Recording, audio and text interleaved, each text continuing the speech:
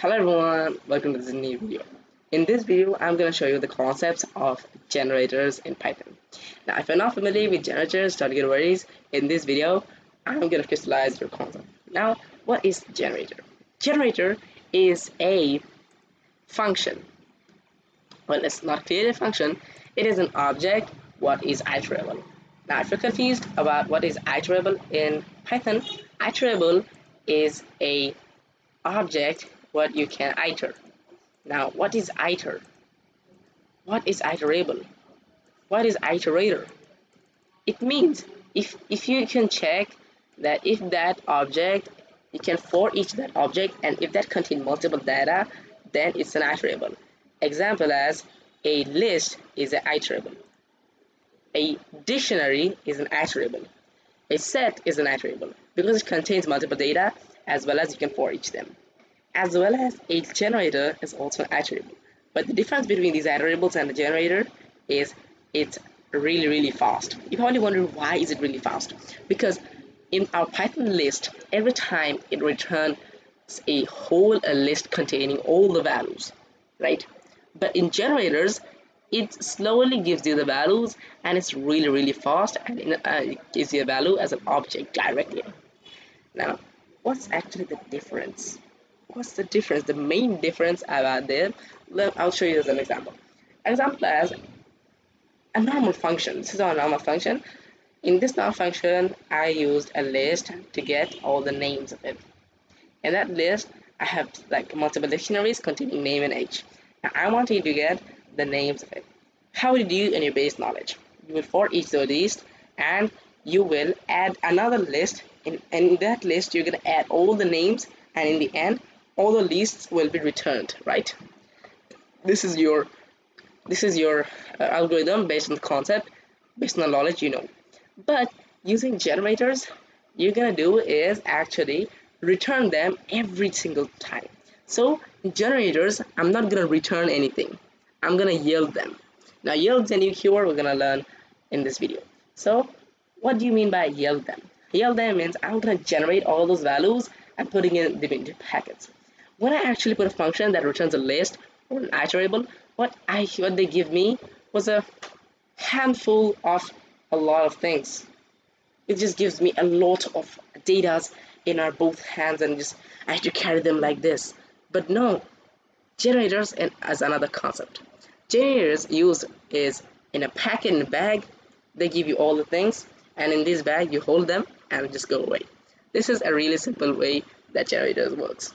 So this is how generator works. Now generator is an iterable, so you can actually for each them and get the values, and you can also use the next function to get the values.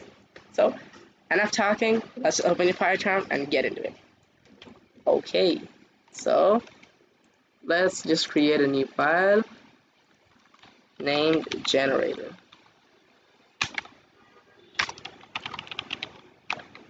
Now, let's just make the difference between generators and normal function. You know what, let's just make a normal function which would you like to power up all the values. Suppose I have a list containing 1, 2, 3, 4, 5 and this will power up like 1 square, 2 square, 3 square, 4 square, 5 square. It's going to square all the values and I'm going to work on that. So here I've created a def called square which will contain a list and the power.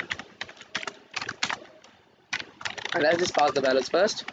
Here I'm gonna run square pass in the list.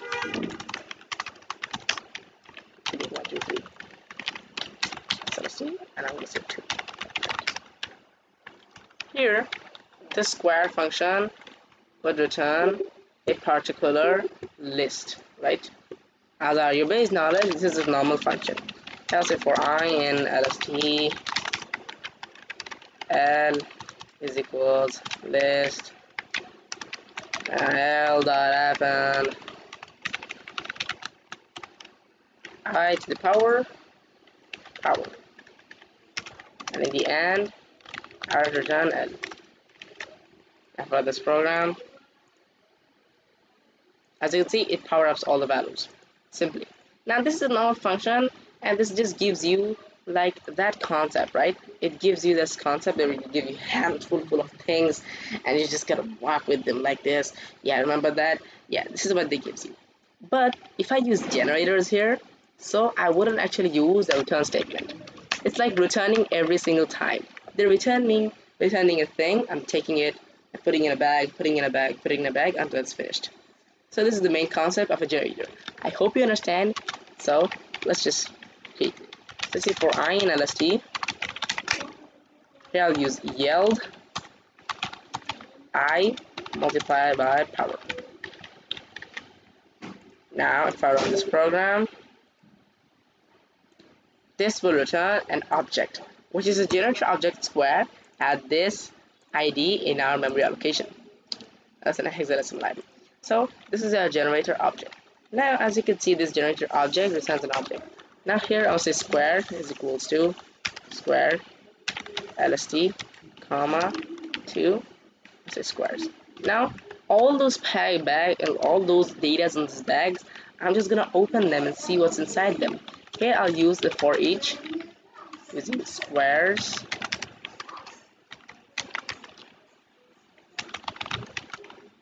and die at the end. So it turns 149 so as you can see those data are packed into a bag and I'm taking the bag and I can easily iterate it. Uh, there's one more way you can iterate them. Is using the next function. Here I'll use these squares dot next. By using this next function you can get the first value so if you're using the next function for the first time in your code it will get you the first value. If you use the second time you get to get the second value. Third time and get third value. Until it reaches a minute limit it's gonna show you an error. Stop iteration. So I don't recommend you to doing this because every time you'll get an error. After stop iteration, your program might break if you don't handle any exceptions. So I recommend you to use a for each for this. So this was the main concept of generators and functions. I hope you liked my video. This was a really interesting video and if you're in part you're not understanding you can actually comment down below and before ending this video I will recap everything what you've learned today. So we've learned generators. Now, generators is a object containing multiple data in a packet. So it's a difference between a generators and a functions. Our generators are actually packet the data and the functions are returning you directly. So thanks for watching. I hope you see you in the next video. Goodbye.